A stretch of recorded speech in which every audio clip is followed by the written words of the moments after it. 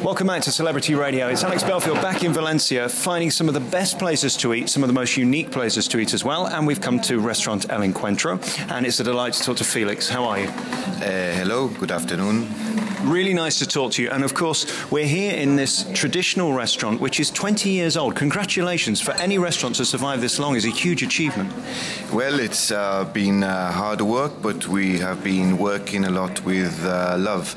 Uh, we fell in love in the place uh, 20 years ago because it was a very traditional place, an old 40s cabaret understairs, and uh, we wanted to defend traditional dishes. And of course, your menu reflects that, doesn't it? I mean, when we walk in, we see the bar, which is, again, very, very traditional Spanish um, setting. It's all part of the atmosphere, isn't it? You've got to have sort of a dining experience, and you've mastered that. Uh, yes, it's, uh, you know, 20 years of work. We've been, uh, you know, uh, meanwhile, all the restaurants were getting with modern food. We thought that a lot of traditional food, mother, grandmother food, really good food, is losing its way in all these years. So we are just stick to defend it because I think uh, everything has to, you know, live modern and tradition. And of course, the traditional menu would have what on it? What should I be picking when I come here, Felix?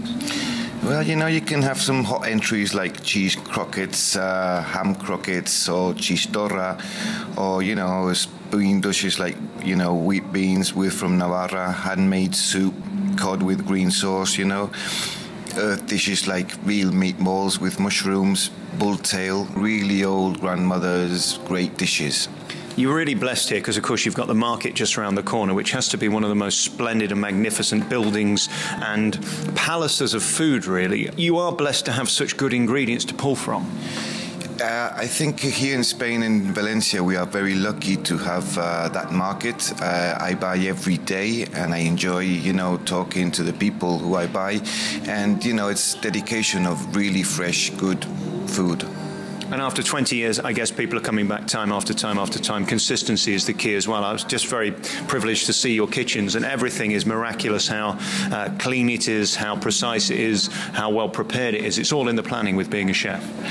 Well, uh, anything you do in life, you have to make it with love. And, uh, you know, we fell in love with the place and we've been doing 20 years. You know, people, I think, understand and feel this. So it's kind of very family place. And you can tell that, and it's beautifully arranged. It's sort of fine dining, but relaxed, as is all of Spain, really. It's formal, but you don't feel uncomfortable, which you can in so many of the sort of London toffee nose restaurants. Yes, I think an important thing is that the people have to feel like they're at home, you know, and uh, we are very careful with tending the people and making them feel comfortable. One of the strange things for me, restaurants open so late for British people. Dinner starts at 8.30. Most people are eating 9, 10, 11 o'clock, no problem at all. That's another tradition here in Spain, isn't it? Eat late.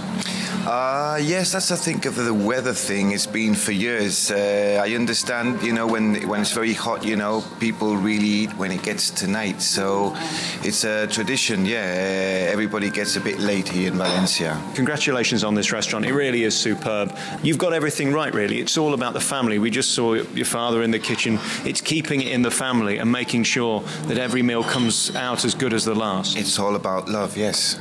It's a nice thank thing to end with. Oh, thank you very much, Felix. Great to see you. And if people want to get in touch with you, they can find you where?